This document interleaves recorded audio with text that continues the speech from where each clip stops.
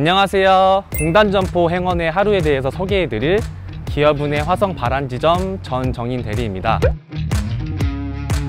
일단 저는 10분 거리에 위치한 이쪽 합숙소에서 걸어서 출퇴근을 하고 있고요. 합숙소 관련 이야기는 뒤에서 좀 더 자세하게 말씀드리도록 하고 출근을 해보겠습니다. 네, 안녕하십니까. 네, 안녕하세요. 안녕하십니까. 네, 안녕하십니까. 네, 안녕하세요. 저는 2020년 상반기에 경기권 핵심 점포 전형으로 입행을 했습니다. 첫 번째 지점은 화성 봉담 지점이었고 한 달 전에 이쪽 화성 바란 지점으로 오게 되었습니다. 고객님이 오고 계시기 때문에 업무를 시작해 보겠습니다. 대표님 옆에 문서 하나 작성하실게요. 왼쪽에 성함이랑 오른쪽에 사인 한 번만 부탁드릴게요. 방금 누르신 거 비밀번호 ATM기에서 누르시면 되세요. 네, 다 되셨고요. 나가시면서 한번 확인 한번 해보세요. 네, 감사합니다. 방금 다녀가셨던 고객님은 어, 카드 업무를 보고 가셨는데요. ATM기에서 현금 인출 기능이 되지 않는다고 하셔서 도와드렸습니다. 저는 기업 고객 팀으로 기업 대출에 대한 관리나 심사, 등을 진행을 하고 있지만 은행 영업시간 중에는 기업 고객님들 수신 업무도 담당을 하고 있습니다. 제가 성장지점 소속이라고 말씀을 드렸죠. 제 뒤에 있는 4개의 창구가 제가 속한 기업 성장지점인데요. 지점 안에 지점이라고 생각하시면 편하실 것 같아요. 성장 지점의 목표가 신규 고객의 발굴이다 보니 기업 고객님들의 수신 업무도 저희 측에서 담당을 하고 있습니다.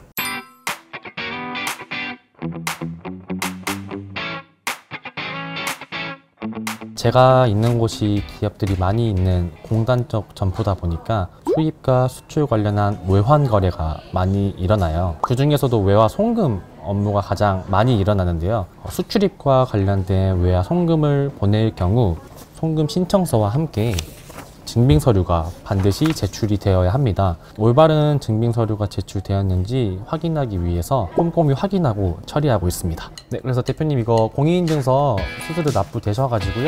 네, 대표님 이쪽 성명에다가 업체명 한 번만 적어주시겠어요? 볼펜으로? 이 등록번호 나와 있는 거 있죠? 96 나와 있는 거. 네, 이거를 알려주시면은 그쪽에서 인증서 진행이 가능하실 거예요. 다 되셨나요? 네, 다 되셨어요, 대표님. 네, 신분증.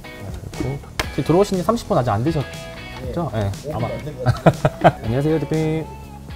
방금 제가 도와드린 업무는 기업용 공인인증서 발급 업무였는데요. 보통의 공인인증서는 직접 발급받으시면 되시지만 한국정보인증에서 발급되는 공인인증서 같은 경우에는 신청을 하시고 은행에 한번 오셔서 본인 확인을 진행을 해주셔야 됩니다. 제가 등록을 해드리고 나머지는 PC에서 진행하시면 된다고 안내를 드렸습니다.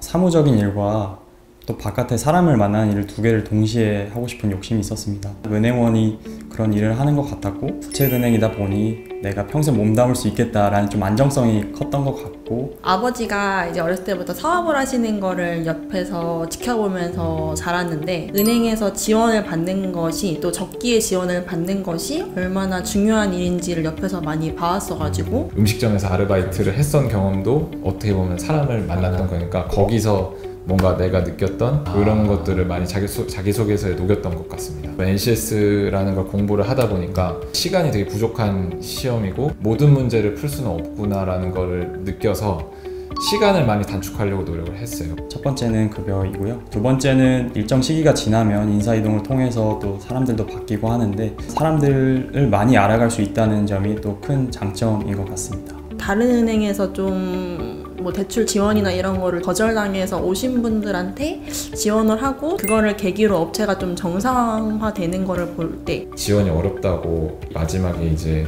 오셔가지고 진짜 도와달라고 했었던 곳이 한 군데 있었거든요. 노력해서 지원을 해드리면은 업체가 살아날 곳이 분명히 있다고 저는 생각을 해서 되시는 모습 보면서 그때 보람을 많이 느꼈습니다. 제가 출근하는 길에 합숙소 이야기를 잠깐 드렸는데요. 은행은 순환근무를 하는데 만약에 연고지가 아닌 곳에 발령받게 되면 어떡하지? 고민이 생기실 수 있으실 것 같아요. 전국적으로 합숙소를 제공을 하고 있어서 주거지 걱정 없이 출퇴근이 가능하고요. 최근 좀 더 편리한 압수소 제공을 위해서 1인 압수소도 늘려가고 있습니다. 어, 저 같은 경우에는 아파트다 보니까 두 명이서 사용하고 있지만 동기와 사용하고 있을 만큼 어, 인원 배치에도 크게 신경을 써주고 있습니다.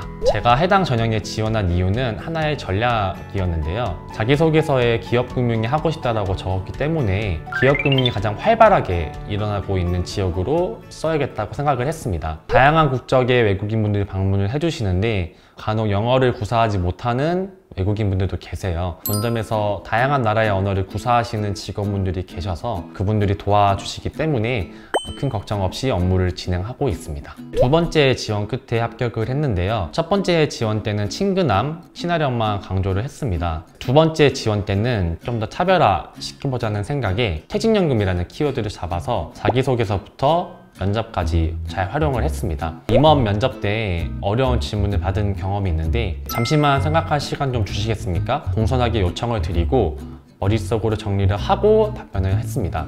이게 감점이 아닐까 걱정하시기보다는 한번 정리를 하고 말씀하시는 게 좀 더 도움이 되실 것 같습니다. 팀장님과 함께 제 외근을 나가려고 합니다. 대출 만기에 대한 관리라든지 새로운 상품이 나왔을 때 홍보, 마케팅 차원에서 나가는 경우도 있고요. 사급 책임자 될 때 보람이 있었고 더 보람 있었던 것 같은 이제 팀장 될 때였던 것 같아요. 대학교 4학년을 가르치려면 돈 많이 들어가잖아요. 그런데 학자금 제도 되게 네, 제 아들이 이제 졸업을 하고 취업을 해야 되는데 모두들 열심히 해서 꼭 우리 기업은행에 들어왔으면 하는 바람입니다. 파이팅! 저는 이제 팀장님과 업체에 도착을 했고요. 어, 업체 담당자분 만나러 한번 들어가 보도록 하겠습니다.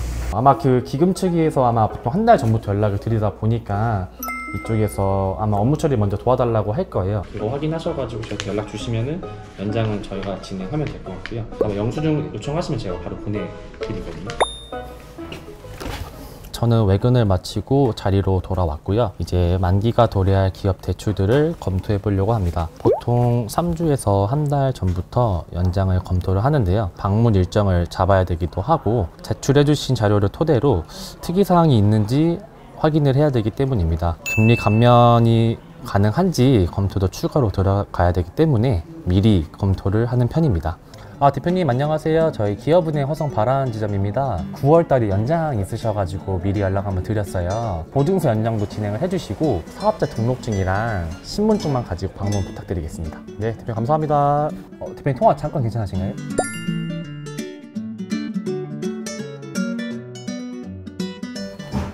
오후 4시가 넘어서 이제 은행원들은 마감을 시작을 하는데요. 저는 외화 지폐를 마감하는 업무를 하고 있습니다. 통이 두 개가 있는데 고객님으로부터 받은 돈, 고객님한테 드릴 수 있는 돈 이렇게 따로 관리하고 있는데요. A라는 고객님이 주신 외화 지폐를 B라는 고객님한테 다시 드릴 수가 없거든요. 분리해서 관리를 하고 있습니다.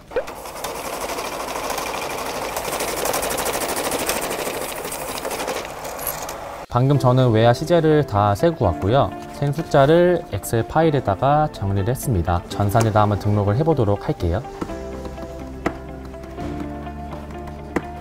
잘 맞았습니다. 남은 업무 마무리 잘 하고 퇴근해 보도록 하겠습니다.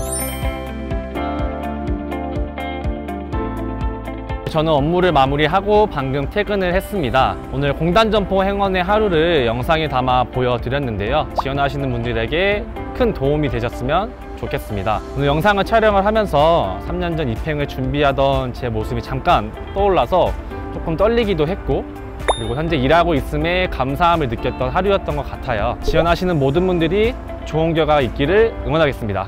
화이팅! 안녕!